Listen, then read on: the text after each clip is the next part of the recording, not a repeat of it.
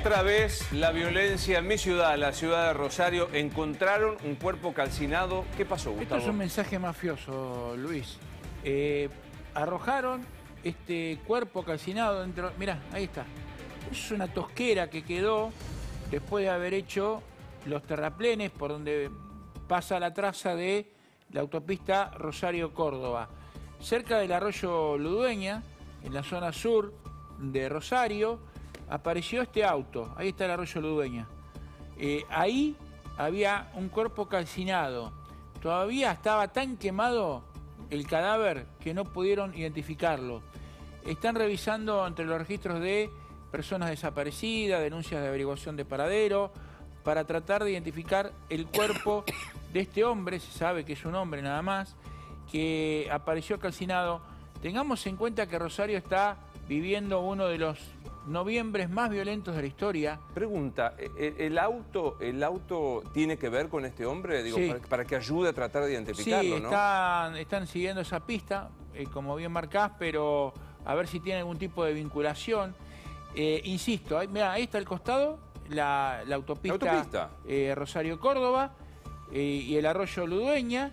Alguien llegó, se tomó el trabajo ahí por, esa, por ese camino vecinal y dejar y abandonar el auto al costado de la autopista. Ahora, Hemos- Gustavo, el nivel de impunidad lo ves desde la autopista, ¿eh? O sea, Sí, no, es que, sí. no es que hicieron un- una tarea de inteligencia. no es que para que lo vean.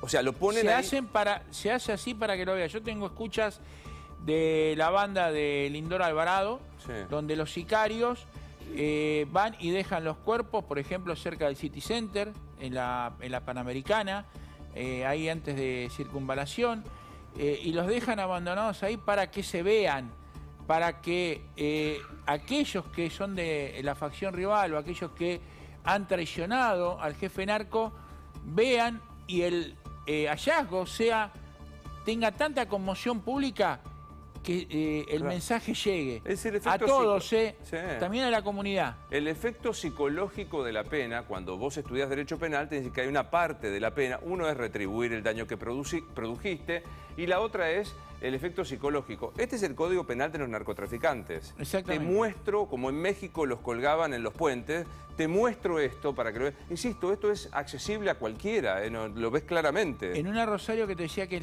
de los noviembre, está terminando el noviembre más violento de la historia, eh, con cerca de 25 homicidios. Eh, insisto, hace unas horas habían asesinado a Alejandra Gabriela Almanza, en el barrio Casiano Casas le pegaron siete balazos, dejaron un cartel. Eh, vos hablás de un clima de época extraño. Bueno, esto también, Luis. Al lado del cuerpo de Alejandra Gabriela Almanza, dejaron un, un cartel que decía, con la mafia no se jode. Eh, antes de las elecciones, dijeron, si gana Milei va a haber más cuerpos, van a aparecer más cadáveres.